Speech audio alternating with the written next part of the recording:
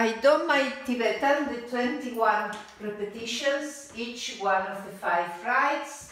I'm going to do my final stretches. Okay, then I'm going to breathe in and out. And in and out. And in and out. I'm going to put one foot at the front as away as possible. Rock forward and back, breathing out. In and out. In and out.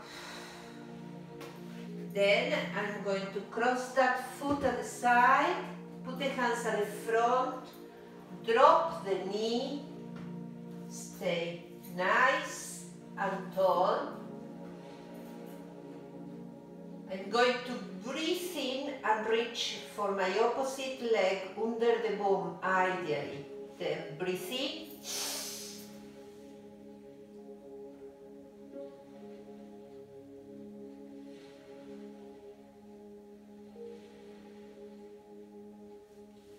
And go back. And now we are going to reach for our foot, breathing in.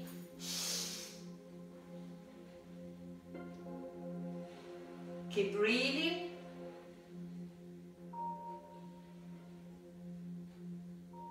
And let it go. And stretch.